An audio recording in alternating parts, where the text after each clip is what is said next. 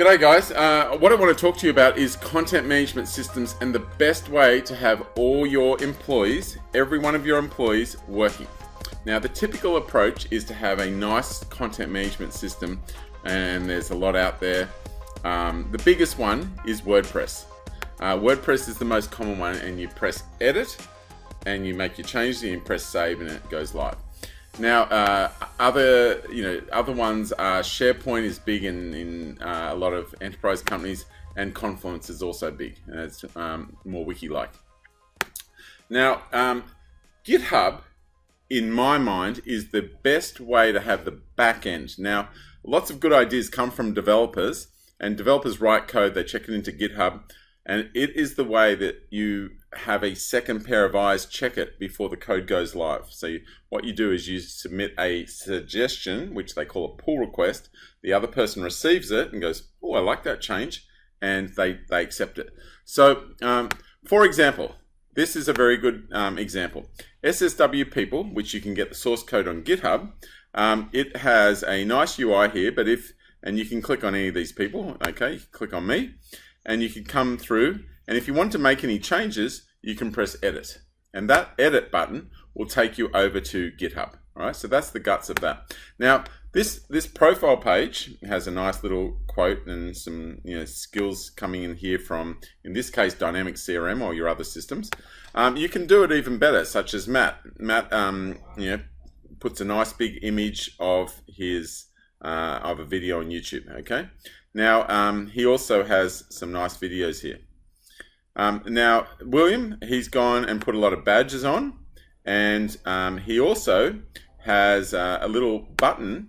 Hi, my name is William Liebenberg, and I'm an SSW solution architect. I specialize in building enterprise. So it goes on, and he talks about himself, and it's quite nice. It's a great way to get to know him very quickly. Um, he also has, um, uh, you know, a whole scroll set of, of images that he has. Um, now, Jason, let's let's look at him. Jason, now I'll, I'll, I'll, I'll pull out something. Obviously, he's got his upcoming talks as well. Here's my favorite thing, the GitHub contributions. Now, this is the code that he's submitted to GitHub. Now, this is typically, I'll click on the link, this is typically the code that he has developed, but every single employee at an organization can have the same thing if they're making changes um, with a GitHub backend, and that's what I'm proposing here. So this is what you don't want to be doing. You don't want to be sending it, seeing a problem on a website and sending an email that says, "Hey Jason, to improve your profile, let's change X to Y," and you know you can you can accept it. It's a very easy way. Like you give them you know suggestion of what it is and how you could improve it, but that is a very bad way of doing it.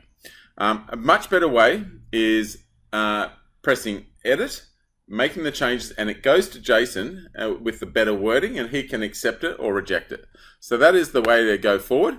Um, what what you should do is store your your um, you know Jason's profile in Markdown, not in HTML. HTML is a mess. You can put CSS. It's very hard to maintain. Markdown is simple. All right, and that's what you should be doing.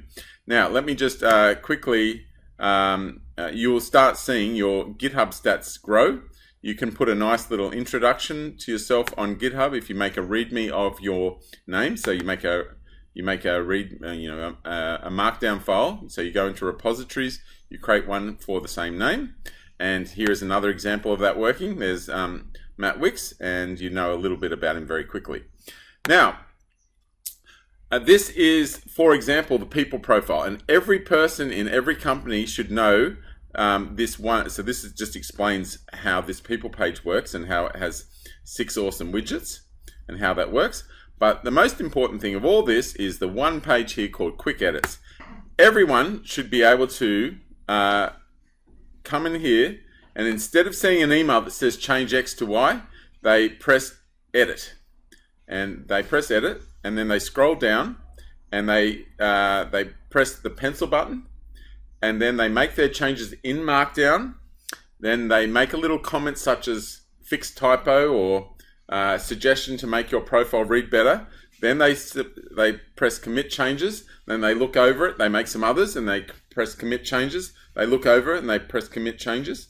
And when they're finished giving all the little suggestions, They then create a pull request. Now, terrible name, I know, but just think of it as I give Jason my suggestion. I come through, and then I can monitor that forever. I can, I will initially see it's open, it's gone to Jason, it's got crosses until he accepts it. And once he's accepted it, they will go green, and there's no emails are sent. Everything is done, and it's very simple. Cheers.